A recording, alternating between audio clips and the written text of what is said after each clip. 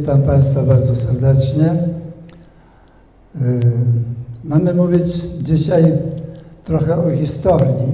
Jak zwykle tutaj na tych spotkaniach ludzie zaznajmiają się, poznają, przypominają sobie polskie dzieje, które są bardzo trudne, bardzo skomplikowane.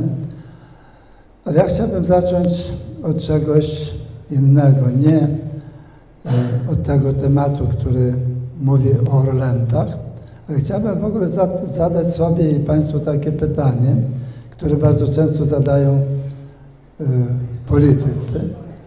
Czy, czy my Polacy, czy my Polacy mamy prawo wiedzieć o tym, co było kiedyś? Czy warto wiedzieć? Czy to jest tak, że dziejami, dawnymi czasami mają się zajmować tylko specjaliści?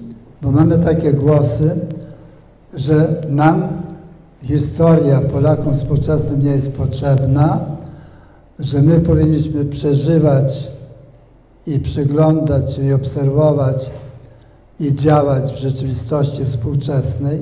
I to nam całkowicie wystarczy, ponieważ historia no bardzo często nam coś tam mąci, przeszkadza, konfliktuje, powoduje nieporozumienia, a w ogóle niektórzy historycy, a szczególnie politycy mówią, że najlepiej byłoby, gdyby się tym zajęli specjaliści, eksperci, czyli pewna grupa ludzi, jak gdyby wyzwolonych, takich, którzy mają wiedzę i którzy będą od czasu do czasu nam przybliżać jakiś obraz historyczny, a my będziemy temu się przyglądać. Otóż ja chciałem powiedzieć Państwu, że to nie jest tak, że historia to jest jakiś dawny czas, że to minione wieki, że to było tam gdzieś 100 lat, 500, 1000 lat i że my oddzielamy nasze życie, to współczesne od tego, które było kiedyś. Otóż ja chcę Państwu uzmysłowić taki fakt, który jest dość trudny do zrozumienia, ale wydaje mi się, że warto o nim pomyśleć, że my równocześnie teraz, w tej chwili, żyjemy w tym czasie, który obserwujemy, który nas otacza, w którym jesteśmy zanurzeni i równocześnie jesteśmy w czasie przeszłym. Równocześnie. To nie jest tak, że była historia gdzieś tam daleko, minęła, a teraz jest zupełnie coś innego. Dam Państwu przykład. No, mieszkacie w tej pięknej wsi, która ma według mnie ponad tysiąc, z tego co pamiętam, to 1509 rok chyba była pierwsza wzmianka, czy, czy 1400, czyli to, ta wieś pochodzi z XV wieku. XV wiek. W XIX wieku wybudowany został kościół wasz. W XIX wieku został wybudowany zamek, pałac tutejszy. Czyli wasza wieś jest historią. No ale wy żyjecie w tej wsi. Żyjecie w wsi, która powstała wiele wieków temu. Wiele domów, których, które są w tej wsi, mają swój początek w wieku XIX, może na początku wieku XX. Czyli proszę zwrócić uwagę, że wy żyjecie teraz w realiach współczesnych, w cywilizacji współczesnych, widzicie, co się was dzieje wśród was, między wami i gdzie indziej, a równocześnie mieszkacie w domach, które mają już swoją historię. Ten dom, jak mi dzisiaj powiedziała gospodyni, ma 10 lat, czyli ma swoją historię, prawda? Czyli właściwie pani mieszka w domu historycznym w jakiś tam sposób. Jedziecie do kościoła, który powstał na, w końcu XIX wieku, czyli ponad 100 lat. Czyli żyjecie równocześnie, będąc w tym kościele, jesteście tak samo wśród tych murów, jak byli ludzie 100 lat temu i ponad 100 lat temu. I oni byli w tych samych murach i patrzyli na te same ściany, na ten sam ołtarz, czyli mniej więcej przeżywali podobnie jak wy. No ale jeszcze ten pałac, prawda, ten, ten pałac, który macie tutaj w tym parku, to on też pochodzi z końca XIX wieku. Czyli jest historyczny, ale równocześnie współczesny.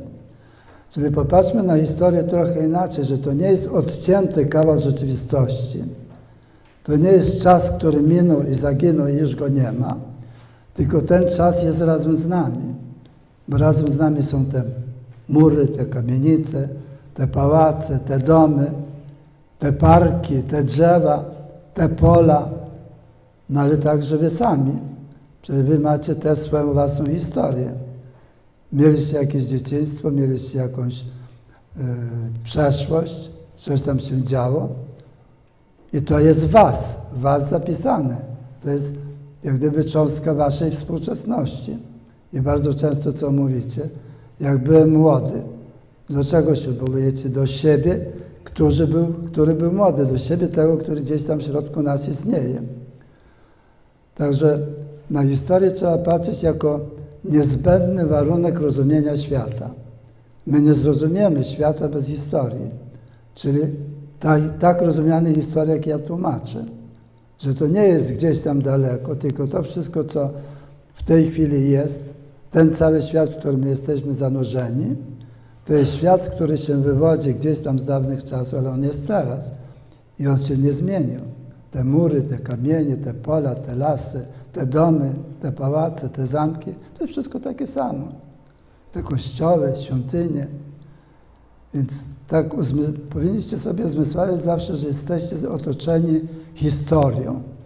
Że ta historia jest niezwykle ważna, bo ona ciągle jest wokół nas. I ona nas jak gdyby determinuje. Mówię, patrzcie, jaki ten świat jest. Tutaj byli kiedyś Niemcy, prawda? Kilkadziesiąt lat temu, sto lat temu, więcej. A tutaj teraz są Polacy. Jesteśmy zanurzeni jak gdyby w kilku historiach równocześnie, w kilku czasach równocześnie.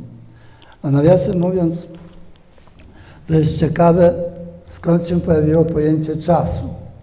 Znaczy, co to jest czas?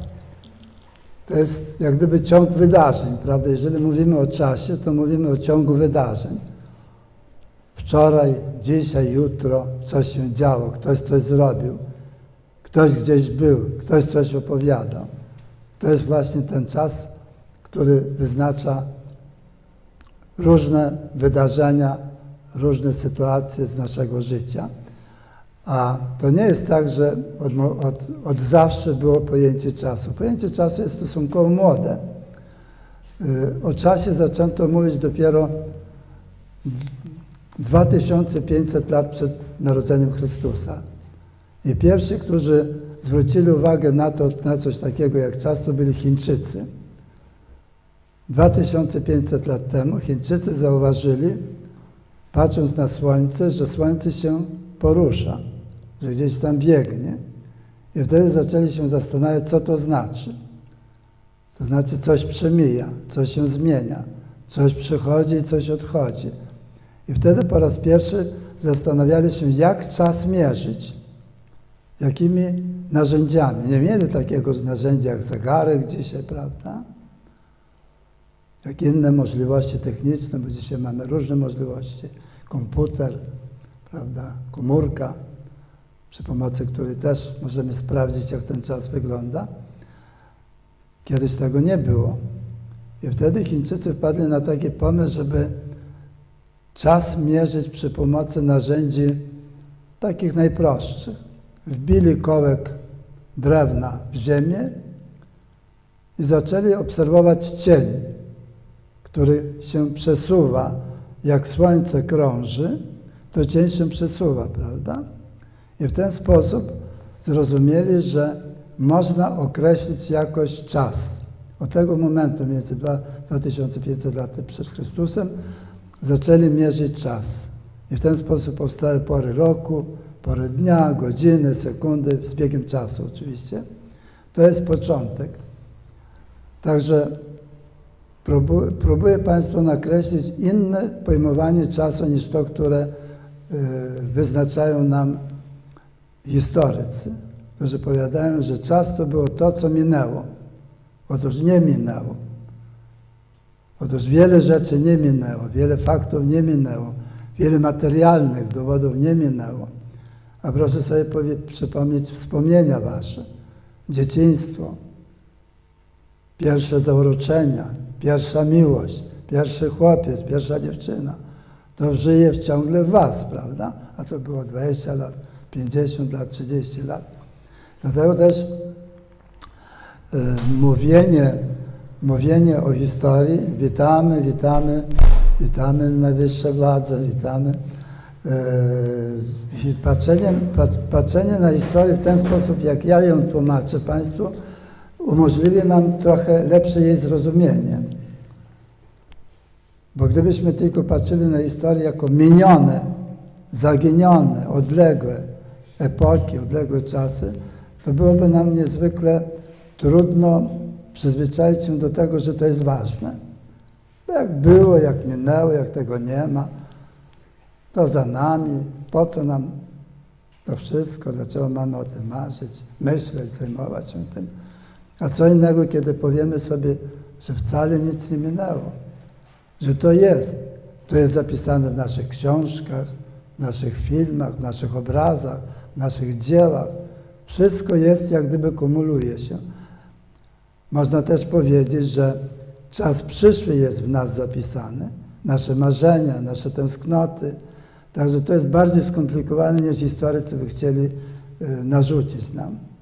A na pewno tutaj macie Państwo spotkania, to to pojęcie czasu nieustannie występuje, prawda? Mówią, to było wtedy, wtedy, jak gdyby to był oddzielny świat. Otóż to nie jest oddzielny świat, on, on jest nieustannie w nas.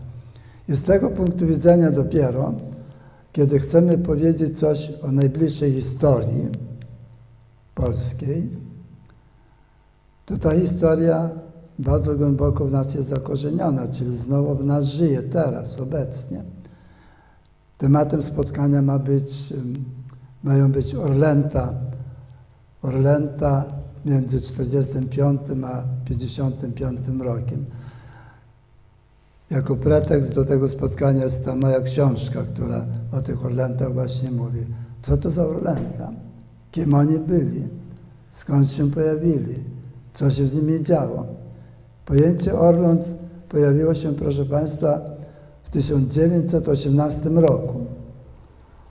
W momencie, kiedy się odradzała nasza Rzeczpospolita po 123 latach niewoli,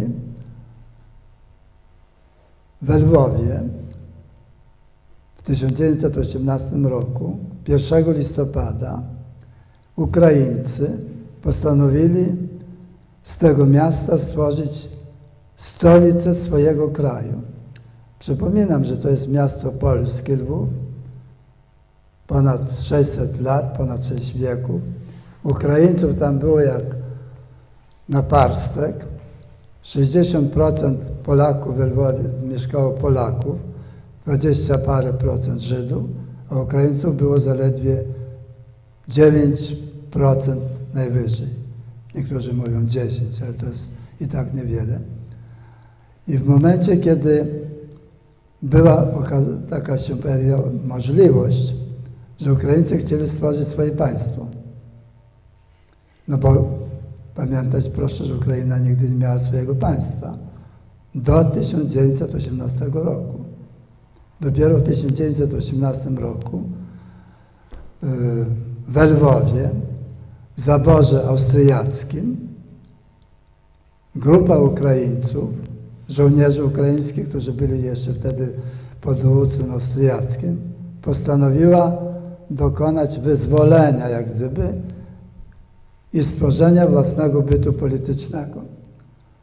I 1 listopada 18 roku Ukraińcy ogłaszają niepodległość. W polskim mieście, gdzie jest ich tylko 10%, a 90 parę procent to nie są Ukraińcy. Oczywiście to był szok. Polacy, którzy mieszkali w tym mieście, w Lwowie, polskim Lwowie, byli zdumieni, przerażeni, zaskoczeni. Budzą się rano z 1 listopada na 2 listopada i co widzą? Setki flag ukraińskich na polskich domach, na polskich urzędach, na polskich instytucjach. Setki flag. Co się dzieje na Boga? Przecież my marzymy o Polsce, a tutaj nagle wyrasta nam jakby z niebytu nagle jakiś dziwny byt. Coś, czego nie dało się przewidzieć. I Ukraińcy, którzy mają tam swoje wojsko, a skąd się to wojsko wzięło? Oni służyli w armii austriackiej. Kiedy się rozpada Austria, to ci ukraińscy żołnierze zaczynają się czuć jako samodzielna, samodzielne jednostki i budują w sobie takie poczucie ukraińskości, że my, żołnierze służący do tej pory Austrii, będziemy teraz budować Ukrainę. Na co mają robić Polacy? Kto ma wystąpić? Jak ma wystąpić? Polskich żołnierzy za wiele nie było. Ukraińców było sporo, żołnierzy, wojska. Ponad 1500 żołnierzy było wtedy ukraińskich w Lwowie, a Polaków było polskich żołnierzy, którzy też byli w Austrii, w austriackich formacjach było zaledwie stu kilkudziesięciu. Czasami do 200 dochodziło. I Ukraińcy bardzo szybko opanowali Lwów. Błyskawicznie. W ciągu jednego, dwóch, trzech dni. I co się dzieje? I wtedy kto? Nie dorośli, nie dojrzali Polacy, ale młodzież, licealiści, studenci zrywają się do boju, uderzają na wojska ukraińskie, mają niewiele broni. Mają tam jakieś noże, kilka pistoletów i to była niewielka grupka, 30 młodych ludzi. Uderzają na Ukraińców, którzy są w różnych miejscach usytuowani. I okazuje się, że dość szybko zdobywają na Ukraińcach broń, karabiny. Wkrótce otrzymują przez walkę jakiś tam karabin maszynowy i już po dwóch dniach, po trzech dniach z tej grupy 30 paru młodych ludzi, z tej grupy tworzy się formacja obronna, która zdobyła w różny sposób broń i jest po dwóch, trzech dniach już mamy około tysiąca ludzi, Polaków, którzy dołączyli do tych młodych ludzi. I właśnie tych młodych ludzi, tych licealistów i studentów nazywamy Orlentami. Orlęta. Stąd się pojawiło to pojęcie Orlęta. Oczywiście walki trwają. Coraz więcej dorosłych mężczyzn dołącza do tych studentów, licealistów. Najmłodszy z nich, wiecie ile miał lat? Dziewięć. To musiało być bardzo patriotyczne wychowanie, skoro tacy młodzi ludzie szli do walki o Polskę. Pozmysłowili sobie wtedy Polacy, że jeżeli Ukraińcy zapanują nad Lwowem, to zapanują nad całymi Kresami. A więc Stanisławów, Tarnopol i inne miasta. I to był taki, taki potężny zryw, taki, taka potężna, wielka energia, która wyzwoliła takie poczucie dumy narodowej. Nie damy się, nie pozwolimy. Okazuje się, proszę Państwa, że w takich momentach skomplikowanych, trudnych, można podjąć działania, które przynoszą efekty. I ta dość silna grupa ukraińskich żołnierzy, która, była, która przygotowała się oczywiście do tego powstania, bo to było powstanie, do tego powstania, ta grupa w ciągu dość krótkiego, jak na historię czasu, zaczęła ponosić klęski. Do 21 listopada młodzież polska, a dołączyli do niej także polscy żołnierze, którzy z różnych stron, słysząc o tym, że Lwów jest we władaniu Ukraińców, z różnych stron przechodzą do Lwowa, wspomagają tę grupę młodzieży i 23 listopada już Ukraińcy wycofują się. I Lwów mniej więcej po trzech tygodniach staje się miastem polskim. Powstaje polska administracja, powstają polskie urzędy, polskie instytucje, a nie byłoby tego, gdyby nie było tej grupki młodzieży, która porwała za sobą, pociągnęła za sobą potężne siły polskie, matki, ojcowie, bracia, siostry, później żołnierze, Także do końca listopada wojska ukraińskiego w Lwowie już nie było. Jeszcze otaczali Lwów, mniej więcej do połowy XIX wieku, ale to, co zrobiła ta młodzież, było fenomenem na tamte czasy. Czegoś takiego historia w tym wymiarze nie znała. To było w ogóle charakterystyczne dla polskich zrywów, które, się, które znamy z historii, prawda, takie jak powstanie listopadowe, powstanie styczniowe, powstanie kościuszkowskie, że w zasadzie to młode pokolenie porywało się na takie zbrojne czyny. I dzięki temu Lwów stał się miastem polskim, a 10 listopada już Piłsudski przyjechał do Warszawy. Zaczęło się organizowanie polskich władz centralnych i dawne ziemie kresowe powróciły do Polski. To są właśnie zalety i heroizm, i odwaga, i męstwo tych orląt, tych młodych ludzi. Ten najmłodszy miał, jak mówię, 9 lat, ale byli tacy, co mieli 11 lat, 12 lat, 15 lat, studenci 18, 20 lat. Podam Państwu ciekawą statystykę. W sumie w powstaniu tym przeciwko Ukraińcom ostatecznie, pozbierając wszystkich, było 6 tysięcy osób, które brały udział, zaczynając od tej małej grupki, prawda? Uczniów i studentów było 1374, ten, ten trzon. Na, do 25 roku było 2640 osób, czyli mniej więcej połowa powstańców polskich, którzy walczyli z Ukraińcami, to byli młodzi, bardzo młodzi ludzie. Zginęło 430 żołnierzy, 120 uczniów i 76 studentów. I to był początek Rzeczypospolitej, bo reszta to później było powstanie wielkopolskie, powstania śląskie, jedno, drugie, trzecie i tak powoli ta Rzeczpospolita się organizowała. Ale najważniejsze w tym wszystkim to byli, najważniejsze to, by, to były Orlęta Lwowskie. I w dziejach polskich jest tak, że mniej więcej co 30-40 lat co 30-40 lat dochodzi do zrywu. Ja dokładnie to obliczyłem.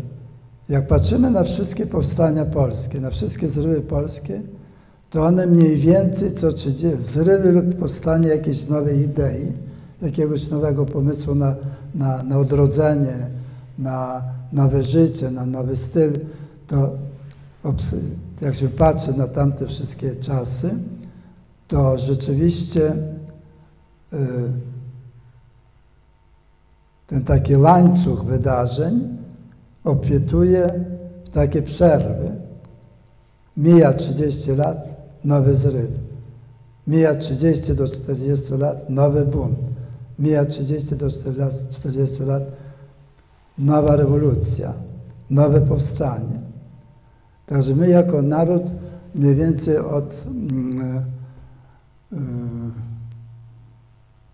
momentu, kiedy byliśmy pod zaborami, prawda, od 1772 roku, ale nawet wcześniej już, byliśmy w takim historycznym znaczeniu, byliśmy świadkami takiej, jak gdyby amplitudy, takiego czasu, okresu. 30 lat mniej więcej spokoju, do 40 lat, później kolejne powstanie. Ja obliczyłem, że biorąc pod uwagę nasze ostatnie jakieś zrywy, ostatni nasz zryw taki wolnościowy to był 1980 rok. Prawda? 1980 rok, czyli Solidarność. To był ten nasz ostatni zryw wolnościowy. 1980, później 90, 2000, 2010. I z tego, z tego by wynikało, że że mniej więcej za 20 lat coś się będzie działo. Jeżeli byśmy przyjęli prawda, tę zasadę, że co 30-40 lat. Więc możecie spokojnie jeszcze żyć w tej chwili przez te 10-15 lat, nic się złego nie powinno dziać, jeżeli przyjmiemy ten rytm historyczny, prawda? No i wtedy e, te, ja sobie nawet tutaj wypisałem, powstanie Kościuszki 1794, powstanie listopadowe 30, 1830, a więc 30 lat potem, powstanie styczniowe 30 lat potem, 1863, bunt Orląt Lwowskich 1918, bunt licealistów i tutaj będzie, dochodzimy do tego, o czym będziemy mówić, 1945, 1955. Co to znaczy bunt licealistów i dlaczego ja nazwałem ich Nowe Orlęta, czy Orlęta Polskie, kolejne Orlęta Polskie. Co się dzieje po wojnie? Już pomijamy, prawda, jest ta nowa Rzeczpospolita między 18 a 39 roku, rokiem. Są te straszne wydarzenia związane z, z Syberią, z, z agresją rosyjską, z bandami ukraińskimi. To pomijamy dzisiaj. Dochodzimy do 1945 roku, kiedy popada Polska w nowe zniewolenie. I mamy dość jasną historię żołnierzy wyklętych, o których tutaj już wielu ludzi mówiło, prawda? Wiemy mniej więcej, kiedy to było, jacy to byli żołnierze, skąd oni się wzięli. Ale natomiast bardzo niewiele wiemy, prawie nic nie wiemy o Orlętach polskich, które się pojawiły między rokiem 1945, a więc wtedy, kiedy komunizm wniesiony na szablach i na bagnetach do Polski zapanował. No a dzisiejszym czasem, co się działo potem? Otóż co się działo?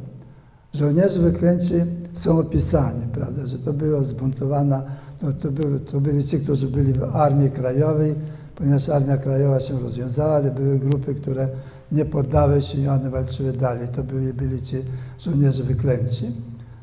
Natomiast nic nie wiemy o Orlętach, 1945-55. Kim oni byli? Co się takiego działo? Otóż był to bunt, i to bardzo poważny bunt młodzieży szkolnej, licealnej. Zadziwiające zjawisko. Bardzo zadziwiające. Nagle młodzi chłopcy, młode dziewczyny, które są w liceach, w 1945, 6, 7 roku, tuż po wojnie, nagle zaczynają się buntować przeciwko komunizmowi. Dlaczego to się dzieje? Skąd ta idea? Kto ich tak wychował? Otóż co się dzieje? Okazuje się, że pierwsze takie zrywy młodego pokolenia po 1945 roku biorą się z rodzin kresowych. Ja Państwu dam przykład mojej szkoły, do której chodziłem po wojnie. To było liceum ogólnokształcące w Dębnie Lubuskim, w województwie wówczas szczecińskim, obecnie Dębno. Ja tam zacząłem chodzić do szkoły, do liceum, do, po, po szkole, po szkole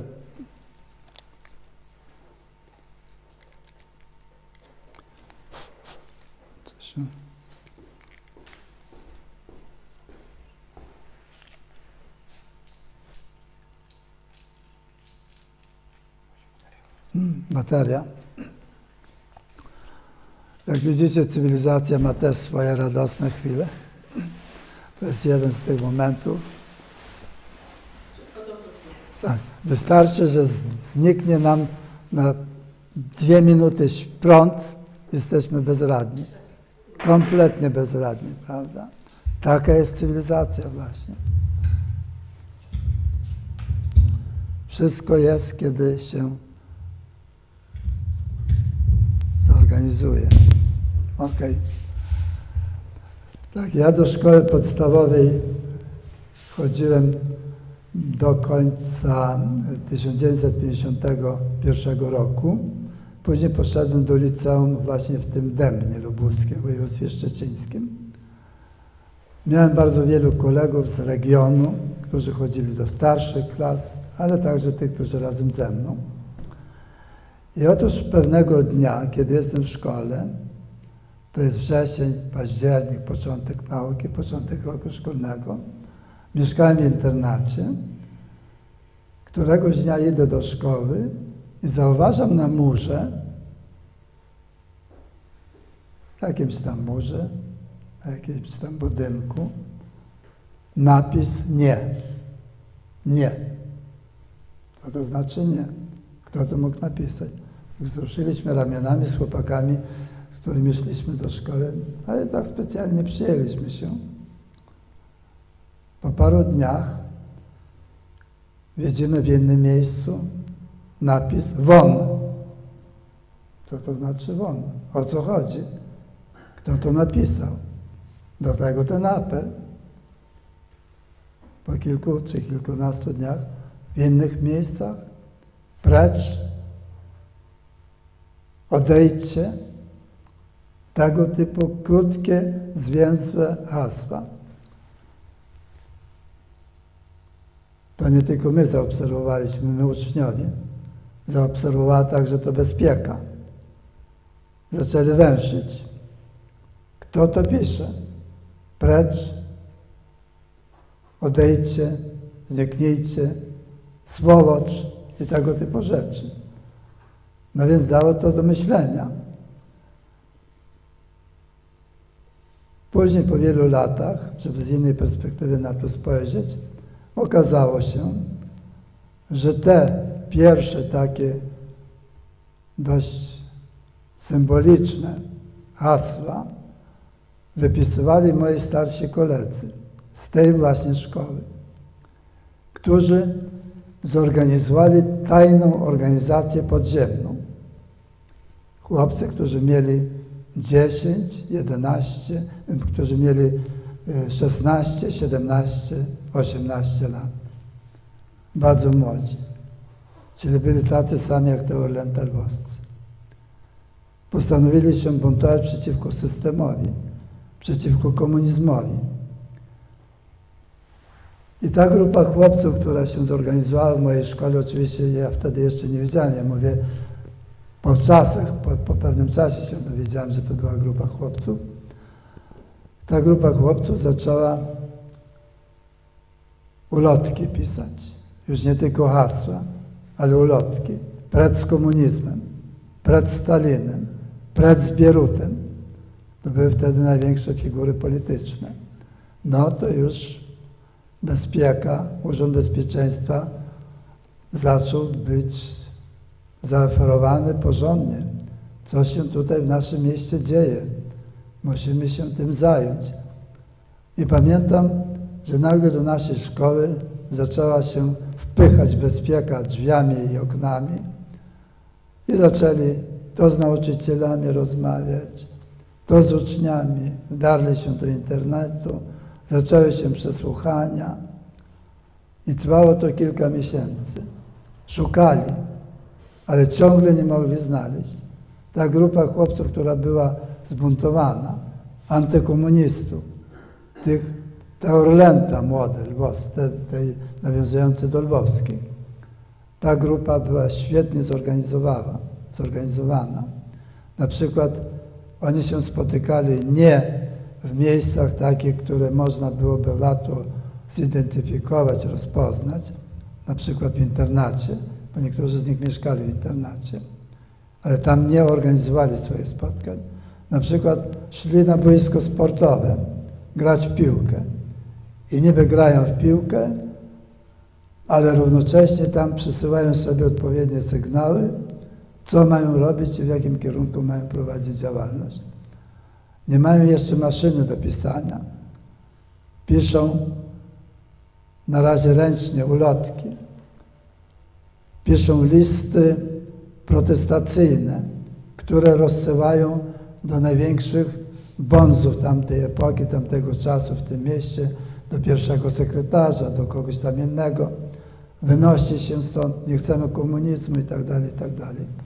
Co robi bezpieka? Bezpieka przychodzi do szkół i zaczyna sprawdzać zeszyty, charakter pisma. Ale chłopcy byli na tyle mądrzy, że modyfikowali swoje charaktery pisma i w tych ulotkach nie było takich samych liter, takiego samego języka, jak ten, który mi opisywali wydarzenia związane ze szkołą, pracę szkolną. W każdym razie to był początek. I my, młode pokolenie, młodzi uczniowie, którzy byli w klasie ósmej wtedy, a tamci byli w dziewiątej, w dziesiątej, obserwowaliśmy to bezpośrednio. Byliśmy świadkami tego. Byliśmy świadkami tego, jak się znęcano nad naszymi profesorami, nad dyrektorem. Ciągano go do bezpieki. Siedział tam całymi godzinami. Musiał się tłumaczyć. A dyrektor nic nie wiedział. To było tajne.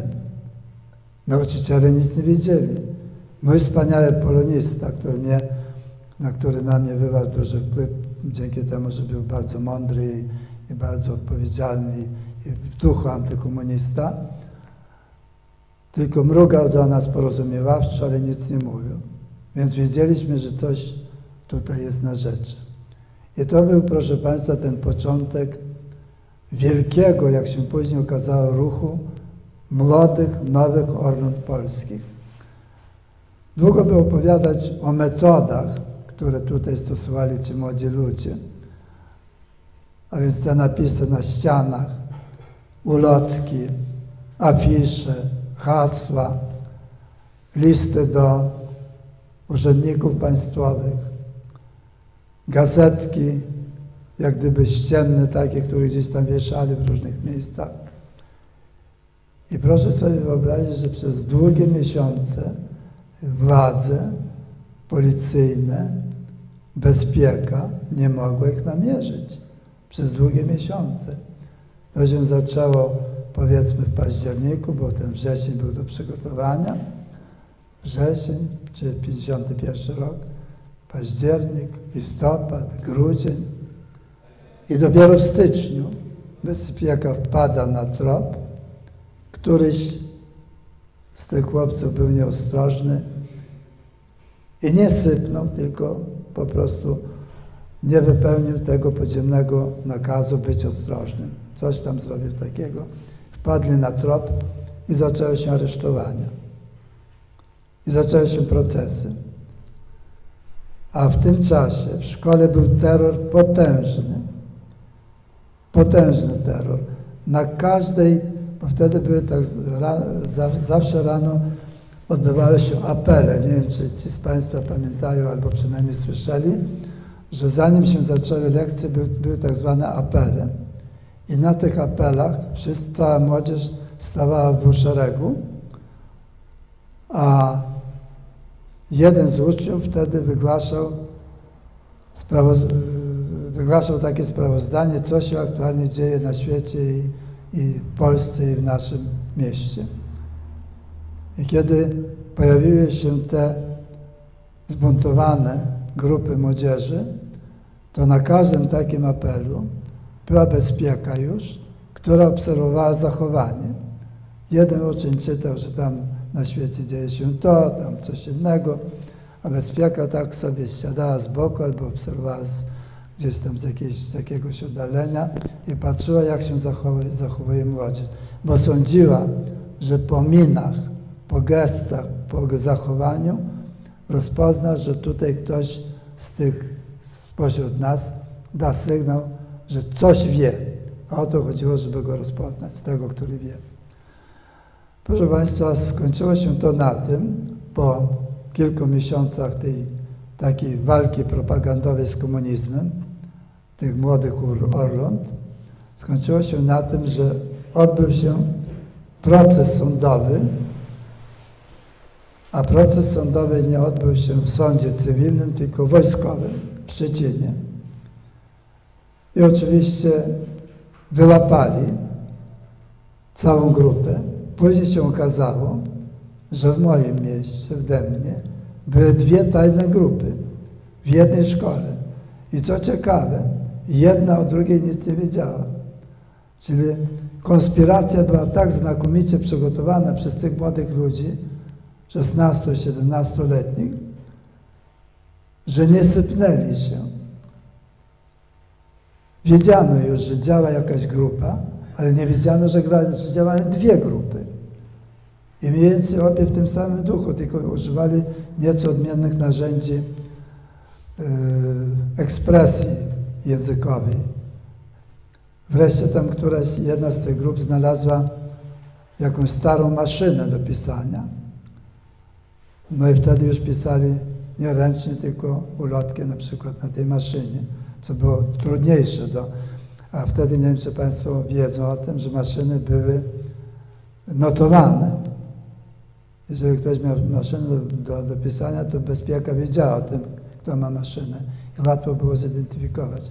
W każdym razie y, te dwie grupy tajne, antykomunistyczne, kiedy wreszcie zaczęto je badać, analizować i pytać, dlaczego to robisz, to wtedy się ujawniły motywy. Jakie to były motywy? To byli chłopcy mieszkańców tego regionu, mieszkańców, którzy wywodzili się z Kresu. A więc doświadczyli komunizmu już dużo wcześniej, czyli między 1939 roku, kiedy Rosja sowiecka napada na Kresy, a 1945. Czyli już mniej więcej wiedzieliśmy, co to znaczy komunizm. Mówię my, nasi rodzice, nasi dziadkowie. I młodzież wychowywana w tym duchu antykomunistycznym na Kresach teraz dojrzała do tego, żeby stworzyć nowy bunt, bo oni dojrzewali na Kresach. Tam, w rodzinach kresowych.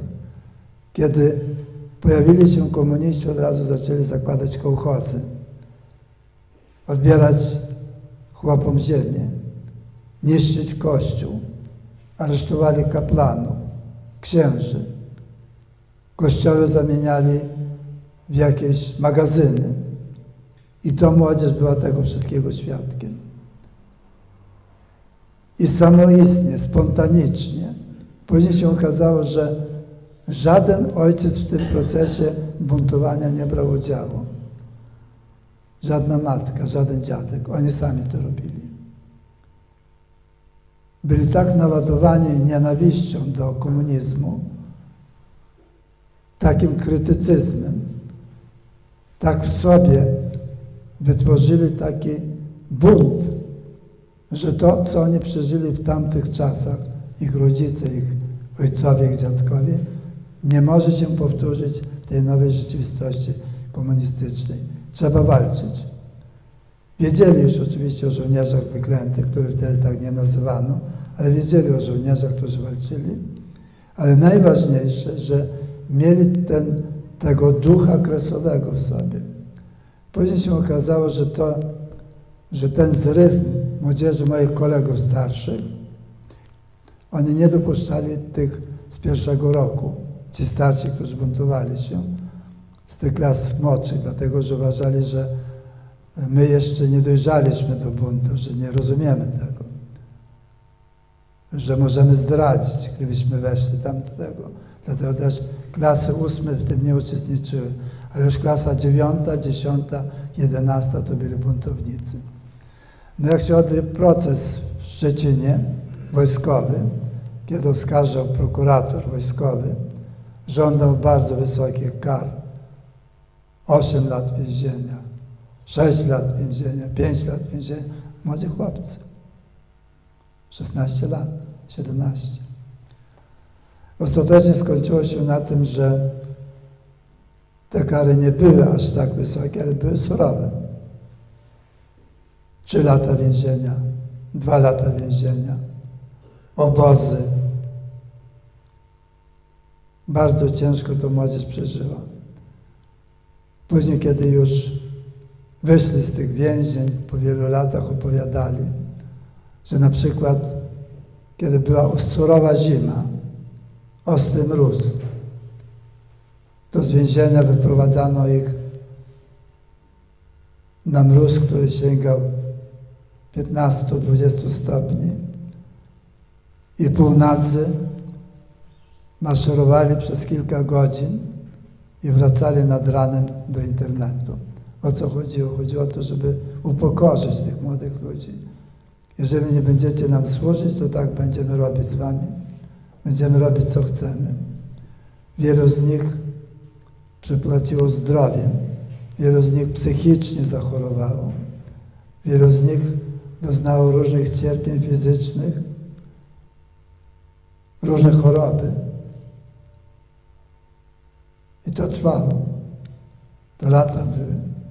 Wielu z nich zmuszono do pracy w kopalni, młodych chłopców. Część z nich zabrano do wojska, do służby wojskowej, gdzie ci, którzy tam nad nimi panowali, czyli oficerowie, wiedzieli, że to jest element niebezpieczny i trzeba im dać w kość. Ja Państwu powiedziałem tylko o jednym mieście, o jednej szkole. Mogłoby się wydaje, że to się na tym kończy. Otóż nie. W województwie szczecińskim takich szkół okazało się kilkanaście.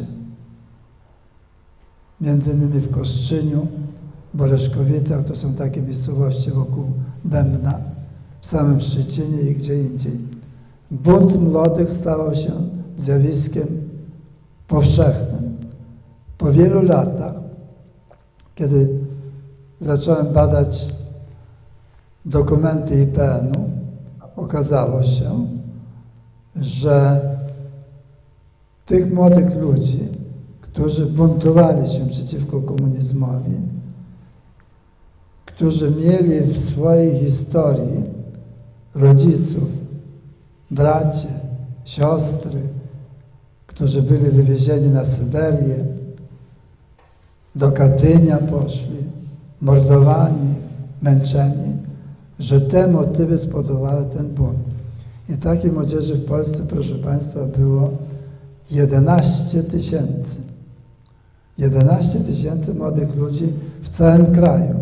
Ja podałem przykład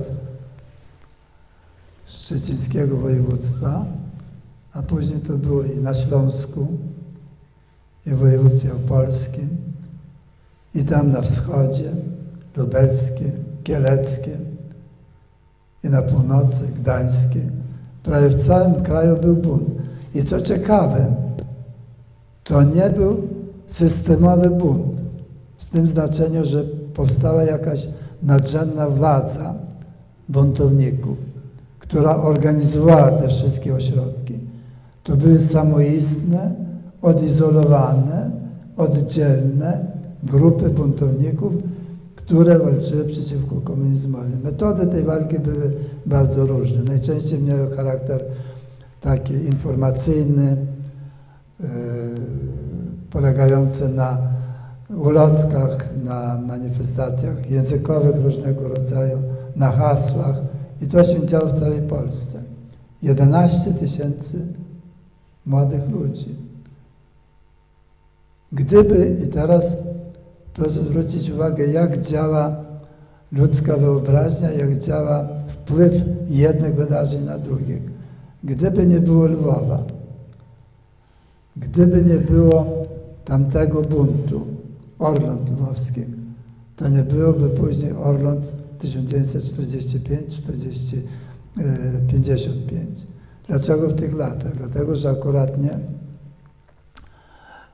to były najokrutniejsze lata komunizmu. One się skończyły, ten najokrutniejszy okres komunizmu skończył się mniej więcej w 1956 roku, kiedy do władzy doszedł Gomułka. To już był nadal komunizm, ale już, już chłopi nie musieli do kołchozu wstępować, już do kościoła inaczej, na kościół inaczej komuniści patrzyli, bo te lata 45-55 to była tragedia. Likwidacja kaplanów, więzienia, surowe wyroki, biskupi, wiemy z procesów, jakie się odbywały. I to wszystko miało też wpływ na tę młodzież, która to wszystko widziała, słyszała. I najciekawsze jest właśnie to, że jak mówię, to nie był systemowy bunt w tym znaczeniu, że była jakaś y, hierarchiczna grupa, że byli przywódcy, że byli pośrednicy, że byli ci, którzy organizowali się na dołach. Nie. Każda grupa była oddzielna. I Szczecin nie miał nic wspólnego z Lublinem, a Kraków z Gdańskiem. Ale duch, i tutaj pojawia się właśnie to pojęcie ducha, pojawia się duch wśród tych młodych ludzi, który kazał im stanąć przeciwko komunizmowi. Ja tymi sprawami się bardzo przejąłem, ponieważ to byli moi koledzy starsi. Z tych miejscowości wokół mnie, gdzie ja mieszkałem. Do dzisiaj kilku z nich jeszcze żyje, mam z nimi kontakt, czasami się odwiedzamy, rozmawiamy. I po latach, kiedy już dobrze rozpoznałem wydarzenia, kiedy znałem osobiście wielu z nich, postanowiłem napisać książkę. Postanowiłem ocalić ten fragment historii, którym nikt w literaturze się nie zajmował. W związku z tym powstała moja książka pod tytułem właśnie, który tutaj macie, czyli Dwie miłości, dwie miłości licealistów. I te dwie miłości licealisty, to z jednej strony to była miłość młodzieńcza, fascynacja dziewczynami, które tam wokół nich krążyły, a druga miłość to była miłość do Polski. Miłość do Polski wolnej, suwerennej, niepodległej. I bunt przeciwko Stalinowi. A wtedy bunt przeciwko Stalinowi to oznaczało aresztowania, więzienia, wyroki, a czasami nawet śmierć. Jeżeli nawet nie z wyroku, to przez wyczerpanie, zmęczenie. A teraz powiem Państwu, to był jeden, jedna przyczyna, która spowodowała napisanie tej książki, czyli ten bunt młodzieży uruchomił we mnie taką moralną potrzebę pokazania współczesnej Polsce, współczesnej młodzieży, współczesnym Polakom tamtą, tamtej epoki, tamtą młodzież i tamtą, tamte wielkie takie duchowe wymagania od siebie samych, że my nie poddamy się i nikt nas tu nie złamie. Proszę pamiętać, że to nie były takie czasy jak dzisiaj. Terror był potężny.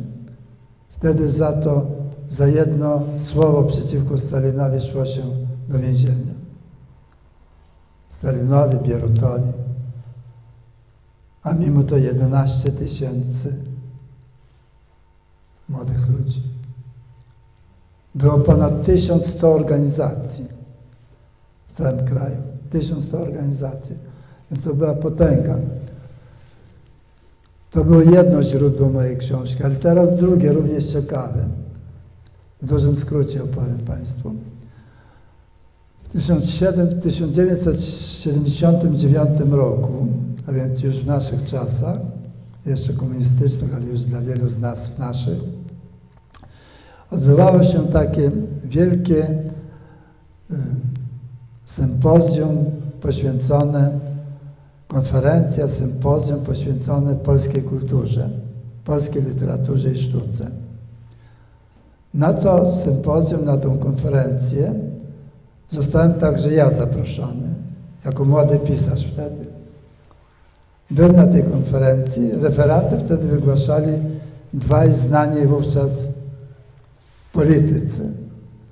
Włodzimierz Sokorski, być może Państwo coś to nazwisko mówi. Włodzimierz Sokorski to był minister kultury i szef także radiokomitetu, generał, nawiasem mówiąc, bardzo licząca się postać polityce polskiej. On wygłaszał referat na tym sympozjum, na tym, na tym zebraniu, na tej konferencji. I drugi to był Kazimierz Koźniewski, redaktor polityki, który później się okazało, że to był agent bezpieki także.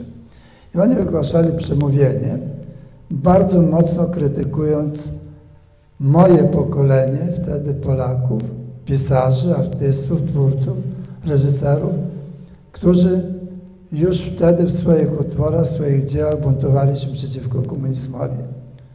Już te symptomy były wtedy dość wyraźne.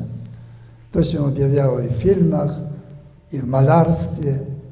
Pojawiała się nowa sztuka, która była przeciwna temu systemowi. I oni bardzo ostro zaatakowali to moje pokolenie, zarówno Koźniewski, jak i Sokorski, minister kultury.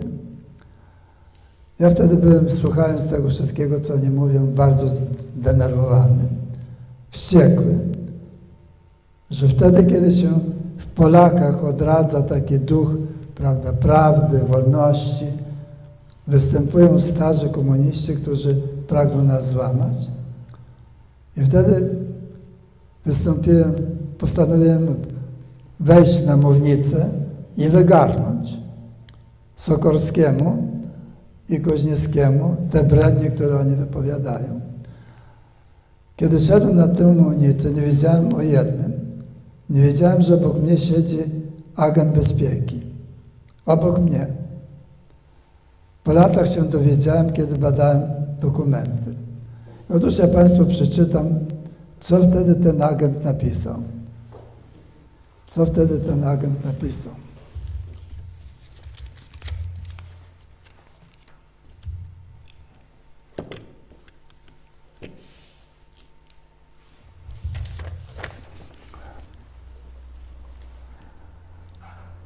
E, agent pisze tak e, w jednej ze swoich notatek, które później w IPN-ie przejrzałem i wynotowałem sobie te słowa dokładnie tak, jak one były zapisane.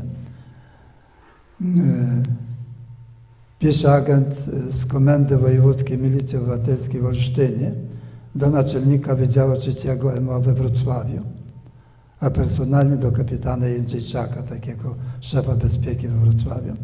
I pisze tak. W trwającym w dniach 20 do 20 września 1979 roku ogólnopolskim forum literackim pod hasłem Pisarz, a dzień dzisiejszy w Lidzbarku Warmińskim, to jest olsztyńskie, uczestniczył innymi, pisze, z waszego terenu, znaczy jedna bezpieka do drugiej pisze, z waszego terenu Stanisław Srokowski. Wymieniony zabrał głos w dyskusji.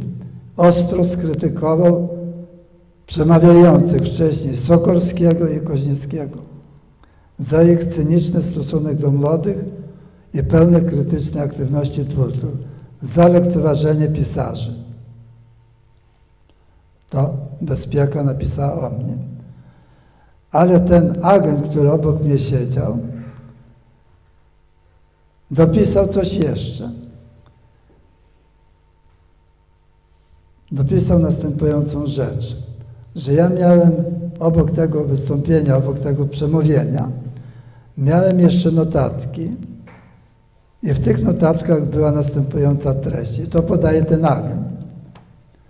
Koledzy literaci, przepraszam, koledzy partyjni literaci, to jest to, co cytuję, ludzie o czterech obliczach światowida, co innego, to ja mówię, co innego myślicie, co innego piszecie, ogłupiając i tak już zdemoralizowane społeczeństwo. Co innego myślicie, co innego mówicie z trybun i w czasie spotkań.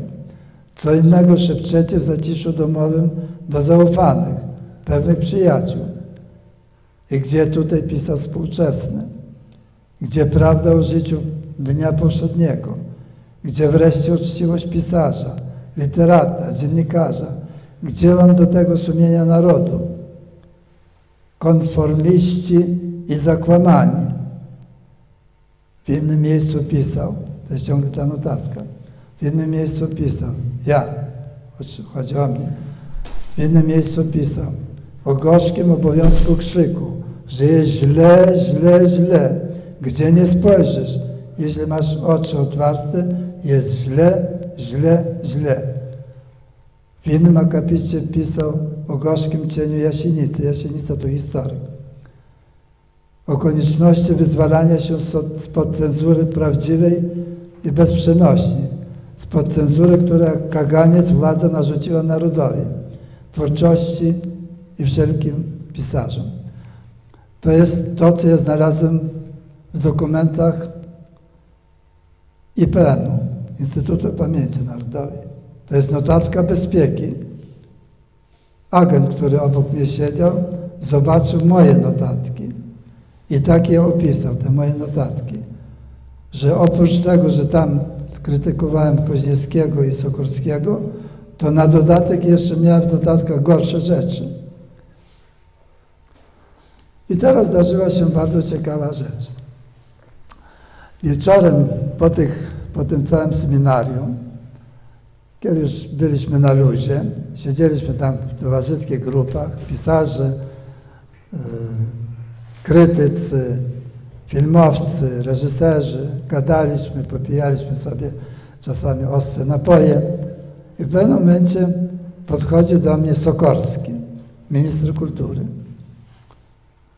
Poprosił mnie na bok, ten, którego ja tak objechałem z tej trybuny, z tej mównicy. I mówi do mnie, wie pan co? No pan chyba nie jest świadomy, co pan zrobił. Pan nie wie, że jestem ministrem kultury? Pan nie wie, wprawdzie to nie są czasy Bieruta, ale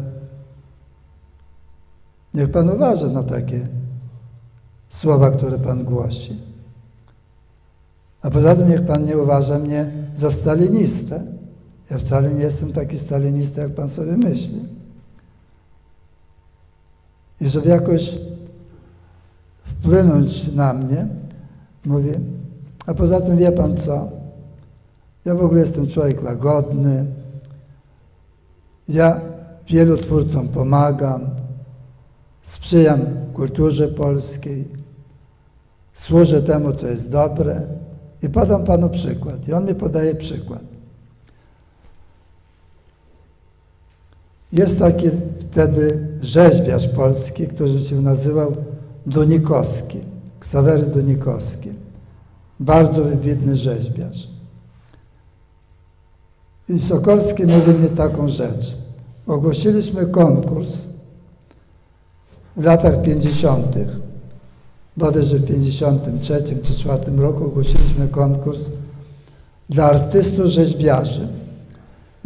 Moje ministerstwo ogłosiło konkurs dla artystów rzeźbiarzy, którzy mieli wyrzeźbić pomnik Stalina, ponieważ Polska nie miała w swoim dorobku pomnika Stalina. Miała inne pomniki, ale miała Lenina, ale Stalina nie miała. No i w tym konkursie wzięło udział kilku rzeźbiarzy i między innymi Ksawery Donikowski, wielki, chyba największy wtedy rzeźbiarz wziął udział w tym konkursie. Jeden Sokorski mówi mi taką rzecz. Kończył się konkurs, idziemy oglądać efekty tego konkursu. Idziemy do jednego rzeźbiarza, a może być, ale nie najlepszy ten Stalin w tym wykonaniu. Idziemy do drugiego rzeźbiarza, no też nie najlepszy. No chyba Donikowski nas nie zawiedzi. Idą do Donikowskiego, otwiera mi swoją pracownię, odsłania rzeźbę Stalina, a jest komisja. Obok Sokorskiego jest grupa krytyków, znawców rzeźby. Donikowski odsłania i nagle wszyscy martwieją.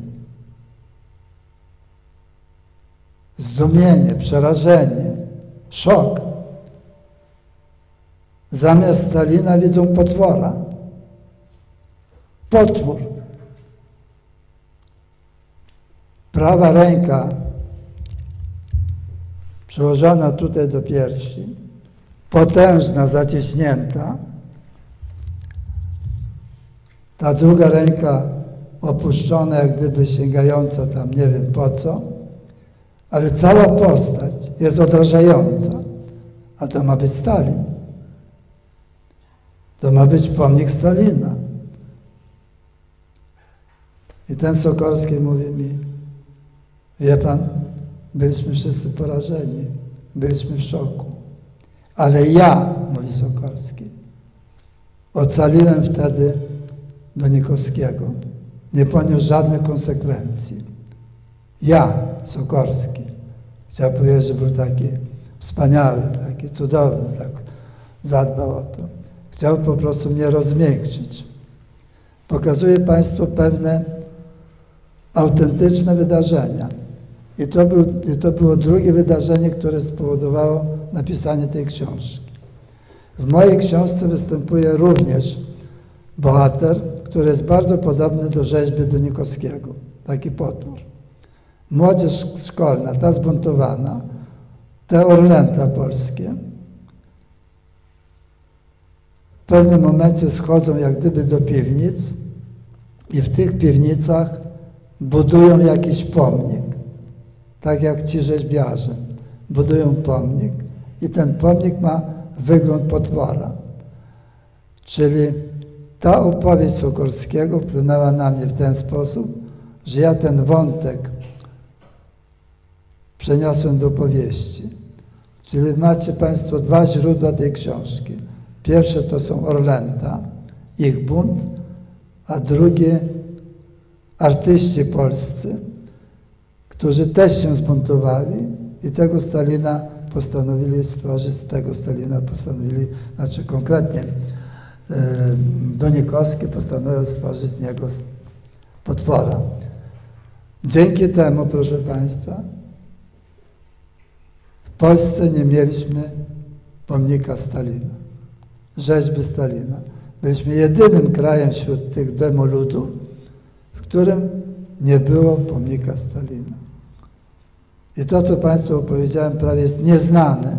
Jesteście pierwszymi, którym to opowiadam. I mówię to o naszym narodzie. Mówię o buncie młodzieży. Mówię też o duchu artystów. Że nawet ten Ksawery Donikowski, który był tak trochę układowy z tym w kulturze polskiej, z władzami. Ale kiedy przyszło co do czego i trzeba było wyrazić swoje stanowisko wobec problemów ważnych, wobec komunizmu, to ten Donikowski potrafił tupnąć nogą i pokazać, co to jest. Macie Państwo pełny obraz tego, co się złożyło na powieść. I tę powieść Państwo będziecie czytać teraz zupełnie inaczej niż wtedy, gdybyście nie widzieli tego, co ja Wam opowiedziałem. Zachęcam do poznania jej i przekazania jej młodemu pokoleniu, uczniom, licealistom, studentom, który to młode pokolenie powinno wiedzieć, jacy byli ich rówieśnicy sprzed tamtych lat. Ponieważ dobry przykład działa dobrze na wyobraźni. Dziękuję bardzo.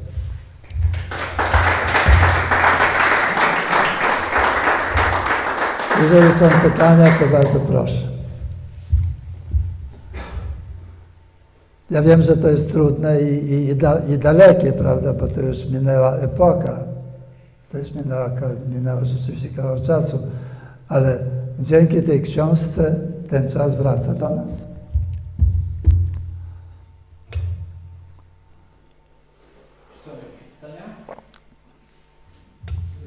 Trudne, tak? Trudne, ja wiem, że to trudne. Nie jest takie trudne. Ja na przykład jestem ciekawa, jak, jakim sposobem e, w tym 18 roku Ukraińcy się zmobilizowali, żeby się, żeby tutaj sobie spróbować się doorganizować tak. i stworzyć e, w tym Lwowie sobie coś. E, no, a my niekoniecznie, mimo że już ostatnio mm, no, takie, takie tezy słyszałam, że w zasadzie Piłsudski do tego w tym listopadzie to, to dostał, można powiedzieć, zorganizowany kraj przez jakieś tam komisje, nie pamiętam, regencyjne czy inne. Nie wkręciłam się w to do tak, końca. Tak. No w każdym razie teoretycznie te procesy trwały i ta organizacja tego organizmu państwowego też. A jednak z tego co Pan mówi, no to tam była jakaś kompletna niemoc w tych tak. naszych, w tych naszych szeregach. Oni być może rzeczywiście jak z wojska, jeśli tam y, ci nasi zaborcy ich Y, łącznie z tą świadomością, tożsamością, taką nową tożsamością narodową ukraińską jakoś tam tworzyli, to może rzeczywiście oni byli doorganizowani, byli w zwartych grupach, w zwartych formacjach, może im było w tym kontekście łatwiej, ale że tak weszli jak w masło w zasadzie bez żadnego sprzeciwu, no to tego nie rozumiem. Tak, więc e, e, to rzeczywiście e, wyglądało dość osobliwie. Polska istniała na Kresach od wieków, mniej więcej od XIV wieku. Mieliśmy tam ogromne zasoby kulturowe, polityczne, społeczne, obyczajowe, religijne itd., tak itd. Tak to była Polska. To było państwo, to było państwo polskie. Ukraina, Ukraińcy, jak mówię, nigdy nie mieli własnego państwa. Była Ruś, a to było zupełnie coś innego. To są korzenie Ukraińców, ale to nie było państwo ukraińskie. Nie, nie nazywała się Ukrainą. Ale potem, kiedy w 1918 roku Ukraińcy się zorganizowali i właśnie, właśnie, zorganizowali się dużo wcześniej, dużo wcześniej przygotowali swoją koncepcję taką myślową, że trzeba wybrać takie miasto, trzeba wybrać taki termin, trzeba odpowiednio się przygotować, trzeba tych żołnierzy, którzy byli w armii austriackiej do tego namówić, prawda, żeby oni tutaj stanęli na czele tego buntu. I to trwało. To trwało. Oczywiście ślady tego gdzieś tam są i wiadomo jakimi drogami to szło. Podczas kiedy Polacy w tej wschodniej części Rzeczypospolitej, byłej Rzeczypospolitej, a wtedy prawda, pod zaborem, no bardziej liczyli, że centrala coś zrobi, prawda, że Warszawa coś zrobi, a nie Lwów. A tutaj nagle, kiedy się okazało, że Ukraińcy chcą nam odebrać polski Lwów, który należał ponad 600 lat do Polaków, do Polski, no to ten zryw musiał być właśnie taki, jak opisałem. Żołnierzy polskich wtedy za dużo tam nie było. Mówiłem na początku, że Ukraińców było ponad 1000, żołnierzy ukraińskich było ponad 500, 1500. To była silna formacja. Mieli swoich oficerów, prawda, dowództwo swoje, byli przygotowani. Dużo wcześniej byli przygotowani. Oczywiście mieli także cywilną pomoc polityczną. Nieza, niezależnie od tego, jak to wszystko przebiegało, to do przygotowania do stworzenia własnego państwa ukraińskiego trwały w XIX wieku, już w końcu XIX wieku. Głównie w austriackim zaborze, w Wiedniu, oni się organizowali już od Wiednia poczynając, a później, kiedy nadarzyła się okazja, kiedy rozsypało się całe imperium i rosyjskie, i austriackie, kiedy powstają nowe państwa na, tym, na tych ziemiach, no to Ukraińcy skorzystali z okazji i postanowili właśnie to państwo stworzyć. Oni nie mogli tego powstania wywołać w Warszawie, w Krakowie, w Poznaniu, gdzie indziej, ponieważ ich tam nie było. Oni byli na kresach. Proszę, proszę Państwa, ja tutaj mówiłem na jednym z wykładów, że Ukraińców i Rusinów przed wojną było 5 milionów. 5 milionów. Czyli w 18 roku, kiedy był ten bunt, to już ich było w Polsce kilka milionów. Nie 5, trochę mniej, ale już było ich kilka milionów. A w Lwowie były tysiące. 10% wprawdzie, ale tysiące ich były. Także Miasto Lwów było jedynym miastem, które mogli to zrobić, Panie Marszałku. Tylko jedyne miasto, bo tego nie mogli w Krakowie zrobić, tego nie mogli w Warszawie zrobić, bo tam nie było Ukraińców. Nie było tylu. Nie było tylu. Natomiast Kresy, które miały kilka milionów Ukraińców, Rusinów, bo to się przekształcali Rusini w Ukraińców, no to, to Lwów był tą, tą, tym centrum, jak gdyby, no i miało się stać, miało się, Lwów miał się stać stolicą Ukrainy ale dzięki temu, że mieliśmy wspaniałą polską młodzież, to ten, ten e, akt budowania bytu ukraińskiego państwa nie powiedz. To jest tak jak teraz, że, że w zasadzie to my się ciągle na kogoś oglądamy. I tutaj to się tak chyba oglądano na kogoś, żeby tutaj ktoś przyszedł zrobił, dlatego co 30 lat się trzeba budować. Tak, tak. Bo jak nam ktoś robi coś, to Jak ktoś, to tak, jak, jak, jak ktoś nam coś robi, to nigdy dobrze nie wychodzi. No. Tak, nigdy dobrze nie wychodzi oczywiście wtedy. No, to, no, tutaj bym musiał mówić, o czym tutaj już mówili inni występujący prelegenci, o różnych partiach politycznych, które się tworzyły w tamtym okresie, o socjaldemokracji, o tych partiach bardziej prawicowych, centrowych, mm, o Dmowskim, o Piłsudskim, o innych, prawda? To jest jak gdyby cała, cała organizacja polityczna, która jednak coś tam, prawda, tworzyła. Yy, No ale Ukraińcy nie zaczepiali gruszek popieli, nie, nie, i, i no, wiedzieli, że to jest dla nich wymarzony czas. Wymarzony czas, bo nagle się rozsypuje imperium, prawda? Rozsypuje się y, wielka. Y, Niedawno się Rosja rozsypywała. No, no tak, no tak, w 17 roku rozsypuje się. Tak, w 17 roku rozsypuje się, mówię, mówię o tamtej epoce, rozsypuje się imperium sowieckie, rosyjskie. Prawda? Nagle w wielkiej Rosji y, robi się nowy zupełnie byt. Rozsypują się Austro-Węgry, rozsypują się Prusy, powstaje nowa mapa, zupełnie nowa mapa Europy. Ja myślę, że nie było tak, że, że musieli nam inni y, przyspieszać wyzwalanie Rzeczypospolitej, tworzenie Rzeczypospolitej.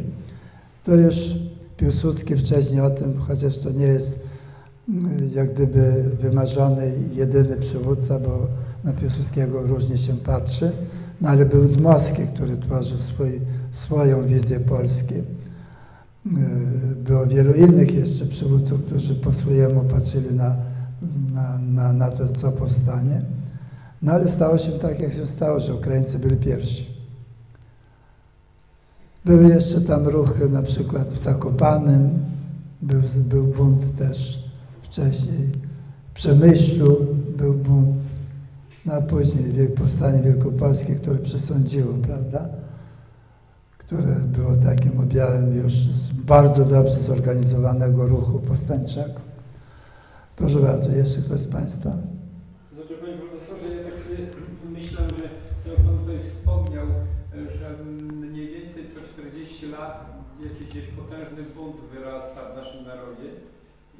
Myślę, że tak jak Pan powiedział, że to się sprawdzi, że to jest mniej więcej kwestia tych paru lat, tego ucisku z każdej strony, po prostu oszukiwania naszego narodu, że coś wybuchnie. Bo Polska jest jakby takim krajem, który wszystkim wszystko zapewnia. Każda jakaś tam grupka większa, nie mniejsza, jakaś etniczna, kulturowa dostaje wszelkie prawa, a my nigdzie wokół nie dostajemy. Jesteśmy, no tak, nawet obserwując ten ostatni czas, który się właśnie dzieje od momentu, kiedy Ukraińcy są w stanie wojny z Rosjanami, bo my też znamy tylko jedną prawdę. Bo z reguły z przekazów teraz każdy tak bardzo chętnie tak tych Ukraińców bez względu na, na wszystko wspiera, wspiera ruski B. Do niedawna było, że no, z Rosjanami niektórzy tam nie, znacznie cieplej się o nich wyrażali. I ja tak myślę sobie, że my też nie, nie wiemy, jak to, jakie były przyczyny do, do końca jakby y, rozpoczęcia się tej całego konfliktu u nich zbrojnego. I też nie myślę tak, że Ukraińcy tam byli bez winy. Też tak ja myślę, że nie byli bez winy, teraz się ich wybiela, ale w sumie moim takim jakby punktem odniesienia jest to, że e, Polsk, myślę, że obecny polski rząd, znaczy polityka naszego rządu e, wielki zamęt wprowadza w naszym kraju gdyż sprowadzając bez umiaru takie masy Ukraińców rozwadnia naszą narodowość. Co za tym idzie? Niech proszę zobaczyć. To, co Polska zrobiła, czyli polski rząd zrobił dla Ukraińców, to pan Morawiecki i pan Duda powinien od głowy po nogawki w medalach i orderach chodzić. Nie dostał żadnego. A my tutaj Ukraińcowi, tak jakby jakieś zasługi dla nas on uczynił, zapraszamy go, on idzie przodem, nasz prezydent z boku pochylony. Trochę to śmiesznie wyglądało, jak oglądałem i przyznam szczerze, że z takim smutkiem to oglądałem, naprawdę z głębokim smutkiem, e, że za co my w sumie nie jesteśmy wdzięczni, żebyśmy, no zresztą jeden z naszych e, rzeczników e, pewnego ministerstwa, bodajże to był pan Jasina, on się swego czasu wyraził, że my jesteśmy sługami. No przyznam szczerze, tak nam to tąpnęło, że straciłem sympatię, że tak powiem. Straciłem sympatię, bo my nie jesteśmy niczymi sługami, a jeśli ktoś ma być sługą, to rządzący są naszego narodu sługami, nie żadnego obcego parapaństewka, bo to, co Ukraińcy obecnie mają, czyli po prostu ten bałagan, nieład, jest spowodowany ich y, własnymi zachowaniami z tego zapieziałego parapaństwa. Sami się rozkradli, sami nie dbali o siebie, sami sobie krzywdę robili. Przecież do 16 roku jeszcze największym dostawcą broni do Rosji była sama Ukraina, gdzie już byli dwa lata w stanie wojny. W stanie wojny byli. Czyli kogo my bronimy, bo w tym momencie robi nam się taką wodę z mózgu. Y, Obecna propaganda i rządowa i ta no, czy, no, opozycyjna jakąś dziwną linię front naraz trzymają w tym kierunku, ale myślę, że jest stworzony y, polskiemu państwu ogromna, ogromna krzywda, narodowi polskiemu, ogromna krzywda. Bo te masy ludzi z Ukrainy, którzy tutaj przybyli, e, którzy niektórzy już tu zapuścili korzenie, e, jest bardzo skrzętnie ukrywane, e, co za tym poszło.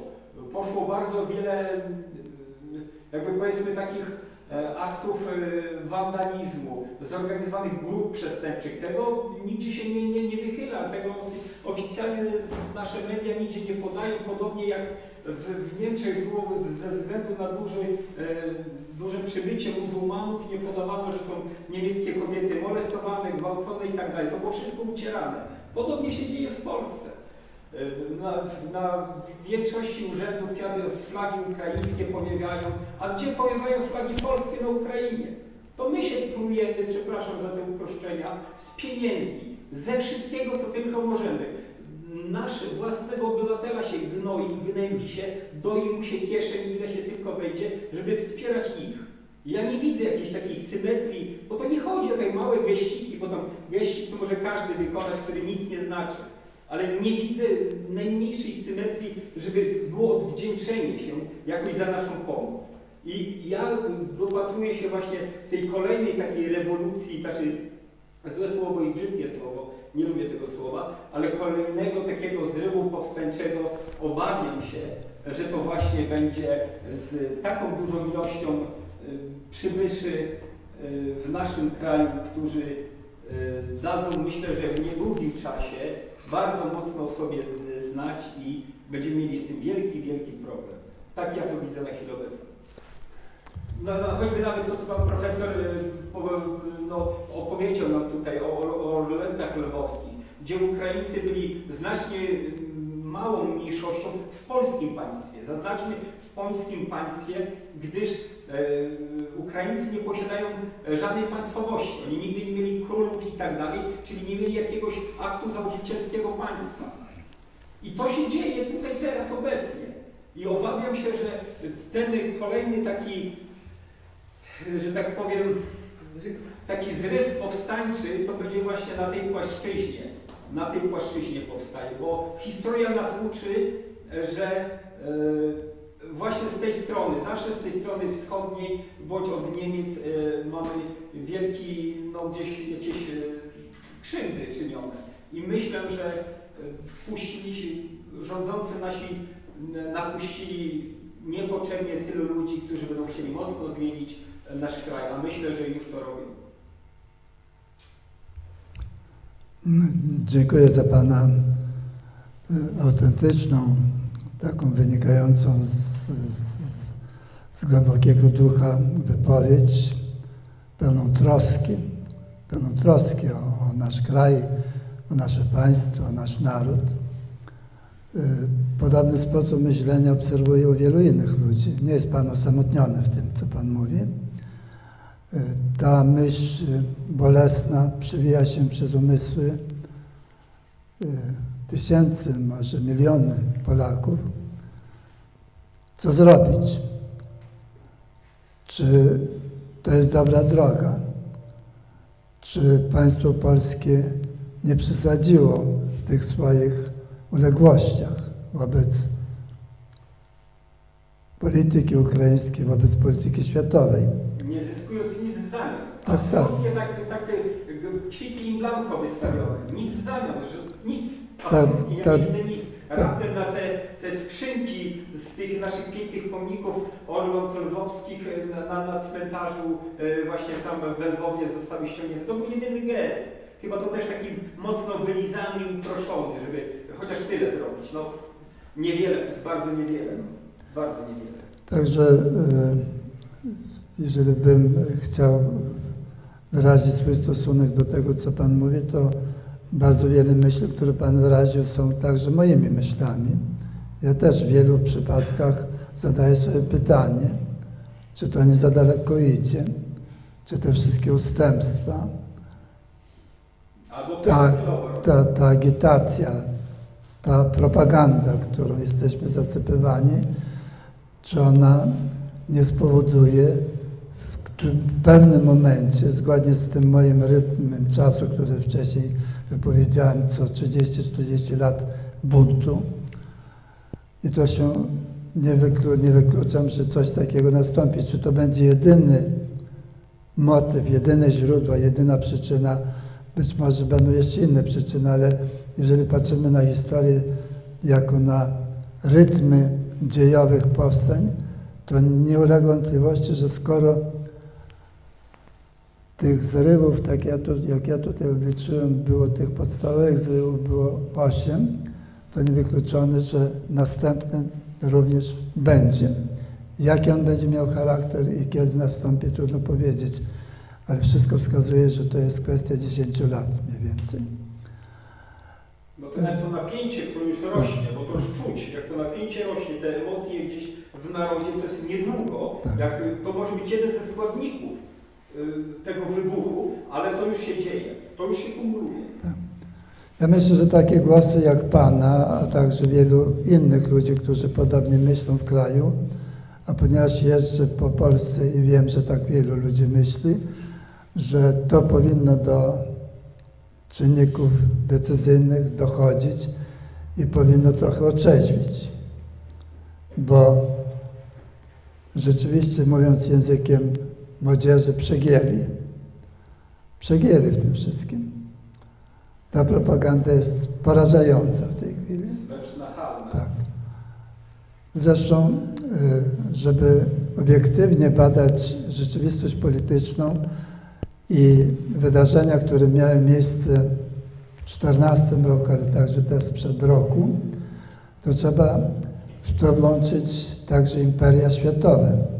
To nie jest tylko problem ukraiński, to jest problem także amerykański, to jest problem także rosyjski, to jest problem także chiński. Rozgrywa się w tej chwili na scenie światowej wielki konflikt, a my stanęliśmy jak gdyby po stronie, która nie jest wcale taka pewna.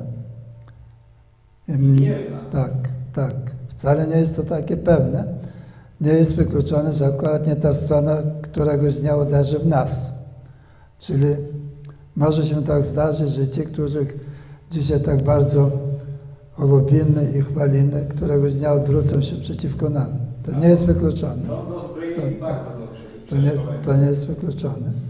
Także dobrze, że zadajemy sobie takie pytania i one powinny, mam nadzieję, że dzięki tej, tym urządzeniom, które nas tutaj rejestruje, trafić do odpowiednich służb i będą gdzieś tam przekazywane dalej. Także dziękuję Panu za tę wypowiedź, bo wyraża Pan postawę wielu innych Polaków. Znaczy, Prawda jest taka, że mamy 80. rocznicę krwawej niedzieli wydarzeń i Wielkie e, słowa. jeśli tak, W jeśli to ubiegłym dalej roku będzie ani tak, słowa jak nie jest było, teraz, nawet ksiądz w kościele nie wspomniał o tych, o tych Jeśli- właśnie mordach. Nie jeśli wspomniał, to że nie wpłynie na słuch Mówisz, i że- poparcia, to, no to znaczy, że jesteśmy wykastrowani tak naprawdę. Mm. Panie ja w swoim felietonie warszawskiej gazecie w jednym z ostatnich napisałem e, Władze ocząśnij się, bo znikniesz. Dosłownie tak napisałem. Władze ocząśnij się, bo znikniesz. To jest skandalem, żeby nie pamiętać o największej tragedii Polaków na Kresach, o wymordowaniu 200 tysięcy niewinnych ludzi. I państwo polskie nie może się zdobyć na pochylenie czoła, na ustawę, która by gwarantowała potępienie tych zbrodni. Nie ma tego. Czego się boją? Na Boga. To jest straszne, że pogarda dla własnej pamięci upokorzenie Polaków, którzy przeszli gehennę i w tej chwili nie mogą mówić otwarcie o tym, co ich boli, na co cierpią, czego się obawiają. co ich dotyczy. To jest straszne. Zobaczymy 11 lipca, co będzie. Bo to jest rocznica 80. rocznica ludobójstwa. Boję się nazwać po imieniu, kluczą. Mówią o wydarzeniach jakichś. To była zbrodnia ludobójstwa, straszliwa zbrodnia ludobójstwa. Ale już tak jak tu Pan, jak Państwo, także niektórzy kiwając nawet głowami wyrażają swoje uczucia, emocje, myśli. Takie pytania i takie zachowania ja widzę w całym kraju. Także duch narodu, tak jak u z tych licealistów, w którymś momencie wybuchnie. To jest kwestia czasu. Wiesz- Prawda jest taka, że tutaj jeśli mówimy o Ukraińcach, to oni akurat w walce, w roszczeniach i w, e, w brutalności i bezwzględności no, mają dużo wprawy i właściwie tylko w tym są naprawdę dobrzy. No I widzimy to i niestety tutaj patrząc na to, w jakim jesteśmy my stanie jako, towarzy- jako społeczeństwo, no to możemy mieć z tym kłopotem. Są doskonale zorganizowani, tak jak wyłudzać świadczenia, mają swoje grupy, które są perfekcyjne, naprawdę tam rzucane hasło i zapytania jakiekolwiek, od razu jest wiele odpowiedzi. Są świetnie zorganizowani, jeśli chodzi o to, co mogą od nas wyciągnąć, jak się to robi. No i nasi tak rządzący dalej. wiedzą o tym, naprawdę wiedzą, wszystko wiedzą. Wiedzą i ja się obawiam, że to jest robota celowa. I to byłoby najgorsze. Celowa zdrada, celowa zdrada, czy to jest parszywość niesamowita. Od 90 roku byliśmy indoktrynowani, jeżeli chodzi o miłość do Niemców, tak teraz jesteśmy indoktrynowani, jeżeli chodzi o miłość do Ukraińców. Jedna Ukrainka, która mieszka tutaj wiele lat, Mhm.